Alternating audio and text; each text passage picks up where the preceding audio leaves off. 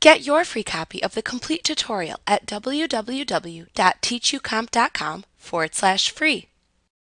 You can create batch invoices only for customers that have unbilled activity.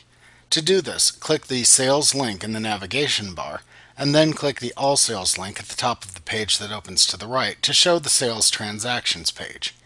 In the Money bar, click the Unbilled Activity section to display the list of unbilled activities.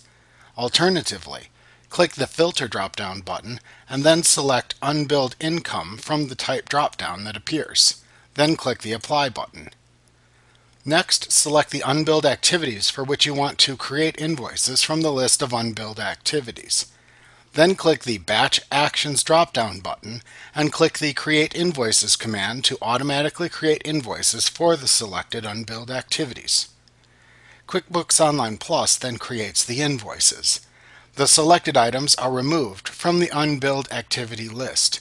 You can then click the Clear Filter slash View All link at the top of the Sales Transactions page to remove the filter and view the full list of sales transactions again. Like what you see? Pick up your free copy of the complete tutorial at www.teachucomp.com forward slash free.